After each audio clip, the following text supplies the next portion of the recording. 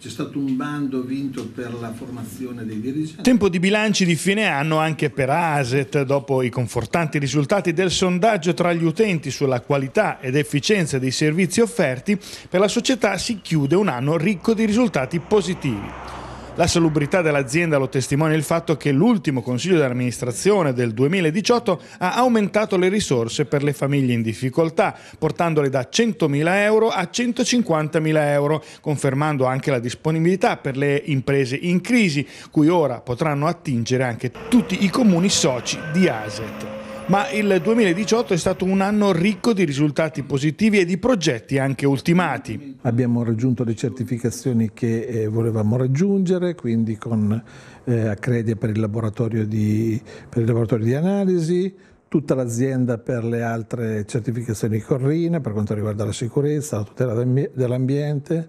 Abbiamo finito la, la querel degli scolmatori con un'opera in funzione senza problemi alcune né per le stagioni balneari. Abbiamo fatto degli investimenti solo nella rete idrica per circa 1 milione e 200 mila euro solo per Fano, mentre invece sono stati fatti altri investimenti su, sui comuni limitrofi che comunque hanno il servizio dell'idrico. Abbiamo raggiunto come obiettivo il 71% della raccolta differenziata, abbiamo allargato,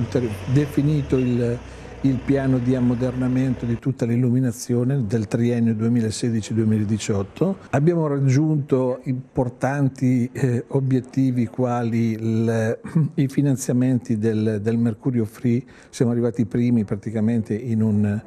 eh, in un progetto che ha visto coinvolti 70 progetti a livello marchigiano e noi siamo risultati primi con un, un importante finanziamento. Abbiamo avuto finanziamenti per la formazione del,